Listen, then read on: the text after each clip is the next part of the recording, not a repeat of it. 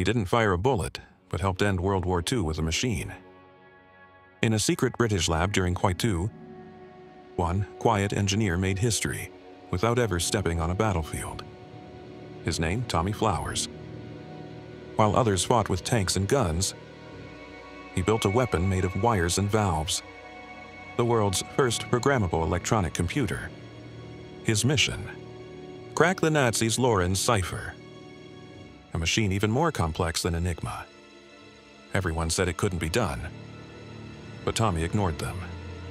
He designed Colossus, a machine that could read thousands of letters per second.